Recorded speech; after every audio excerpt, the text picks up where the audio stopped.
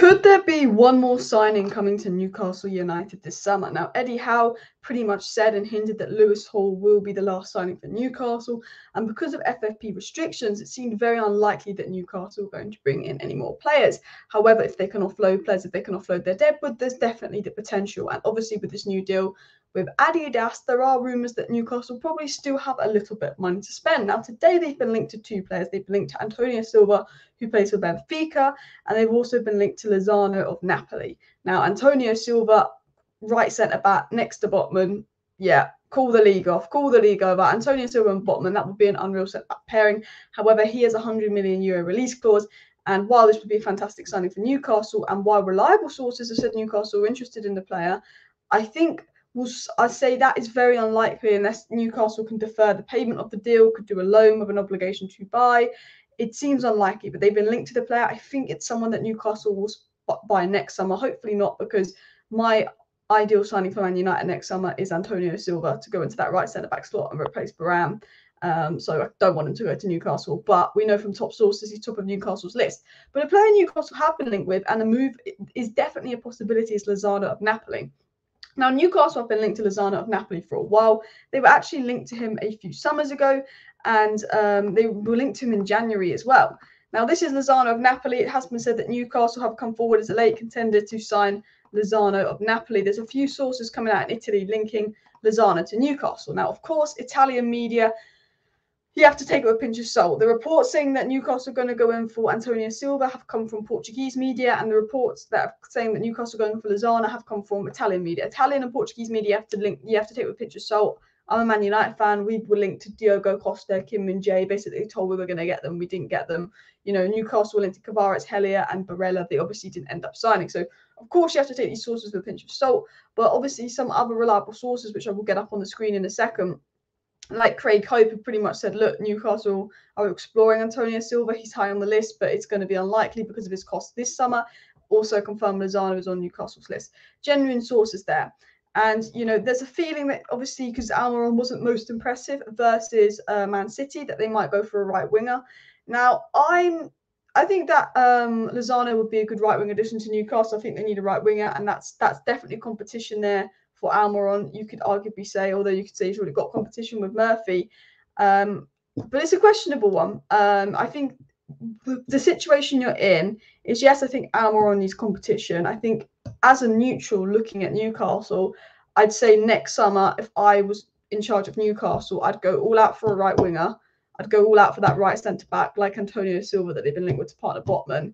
And then I would probably go for maybe a DM to get the best out of Bruno and Tonali. I think Bruno and Tonali would be better further forward. That that's the three positions I'd go with. And I think the question here is Lozano is 27 years of old. He's 27 years old. He's got, I believe, six goal contributions for Napoli last season. So it's and he is on 150k wages. So the question is, and what Newcastle have done so well in their rebuilding, and Newcastle have rebuilt unbelievably well. Livramento, Lewis Hall, two of the best young fullbacks in football. Uh, Bruno Bruno Guimaraes and Tonali are young players. Harvey Barnes are young players. The reason Newcastle have been so successful with their rebuild, even players like Isak, Nick Pope, you know, because they've gone for young, talented players that suit the system that can go to Newcastle and improve. You said, you, I'm a Man United fan. You know, we've spent so much money, and we, we, you know, we, we're Newcastle got a better team than us right now, even though we spent way much more money. You know, I'm, I'm at, because Man United go for these big, obvious names or these aging players and I think while Lozano would be a good addition to Newcastle, and I think if Newcastle sign him, it's a good deal. The question is, do Newcastle go and get Lozano now, a right winger? They definitely need that to be strengthened. Or do they go, you know what, uh, Miggy is a decent player. Miggy is not going to be a problem. And if we wait till next summer to get a right winger, we could get someone like Rafael Leao, we could get someone like Kvaratskhelia. That is that next level. Because the question is, is Lozano that much better than Miguel Almiron? To go for Lozano, or should Newcastle go? You know what, Miguel Almiron, he's a decent player. He can do the job. We've got Isak, we've got Jacob Murphy, we've got um, Anthony Gordon, we've got Harvey Barnes, we've got good attacking options. Callum Wilson's probably one of the most underrated players in the Premier League as well. Good goal scorer. Should we just wait till next summer? I mean, that's the question, and you guys let me know in the comments if you're a Newcastle fan. But I think obviously if they do sign Lozano, and I think this is would be somewhat realistic because he's got one year left on his deal and could be available for 20 million, and Newcastle interested in him You know, his natural position is right wing, but he can play left wing. Um, he would give uh, Miguel Almiron competition. Um, but obviously, you can say that Barnes and Gordon also compete with uh, Miguel Almiron, and it, I think he would definitely be decent. But he's 27, six goals and assists. I think Eddie Howe's a fantastic manager and could get the best out of him, absolutely. But I think my question would be, do Newcastle wait? I know they've got this deal with Adidas, not take the risk of FFP, and then next summer they go and see if they could do something mad like Rafael Leao, Kvaratskhelia, or just you know get that one of those top young wingers out there. There's another player in the Bundesliga I'm thinking of that and it would be good for Newcastle, but his name has slipped my mind. I'm not 100% sure, but I still think it would be decent business from Newcastle if it was a last minute signing. But I don't think it, it's the end of the world if they get him or not. I don't think he's crucial. And I think Miguel Almiron, Miguel Almiron's a decent player. Like, I think he's probably one of the weakest spots in that Newcastle side, but he's not like a bad player.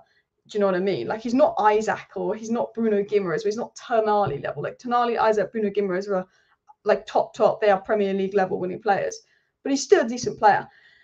Now, I tell you someone who would be a Premier League winning player, Antonio Silva. This is the guy I want Man United to go out and sign next summer. And this guy's been linked to Newcastle and actually linked for Newcastle to sign him this summer. And there is a possibility this deal could happen. I think it's unlikely, but I'm going to talk about why this deal could happen, but I think it will be Newcastle's target next summer. It was said breaking Newcastle could try and sign Antonio Silva this summer. Benfica are claiming 100 million for the 19 year old. He's got 100 million euro release clause. I reckon they would probably set 60 to 70 million pounds, which is in the 80 million euro mark, like they did with Gonçalo Ramos. And there's no doubt in my mind that you know Newcastle do want this player. Yes, you know Portuguese media is a bit like Italian media, but the reliable Craig Hope even said not that long ago that Newcastle exploring a move for Chelsea's Lewis Hall, um, which they obviously did, and then they said they like Joachim Andersen, Antonio Silva's high on the list at centre back, but it's unlikely because of the cost. And he said Antonio Silva's very high on the list, but because of the cost, it's unlikely. And that was said by Craig Hope, and he is a good source of information. So for me, this only happens if it's a loan, which I don't think will happen. A loan with an obligation to buy. If Newcastle could do staggered or deferred payments, or the money from Adidas up front they use, is all possible options. But because of the Adidas deal, there and even though it was said that Newcastle won't do another signing because of FFP, there is money there for Newcastle to do a signing, but I think that signing would be in the 30 million range, not the 100 million range. So I feel like it's unlikely. Maybe if they could get rid of players like Hayden Hendrick, Manquillo, Fraser, get a bit of the dead room out. It may be going to free up some from fees, um, and or they could just do a Man City and lie about FFP and signing, but they don't want to be put in that Man City um, cheat box, do they?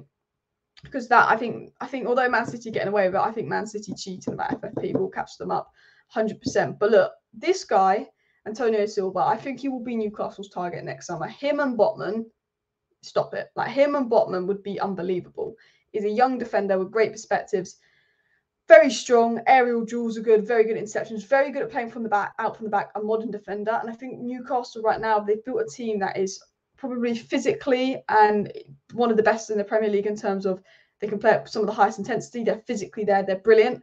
He's someone that has that technical quality as well. And I think that's where Newcastle want to go, you know, just improve technically. And I think um, obviously Antonio Silva is a great player for that as well and him and Botman would be unreal. So potentially there could be a last minute deal on for Newcastle. There's a few rumours floating about. I think Lozano, there's a potential in there. Newcastle do have an interest in the player. I think there won't be anything happening with Antonio Silva. Um, it would be an unreal signing for Newcastle, but I just think that's that's got to be quite unlikely because of his price tag.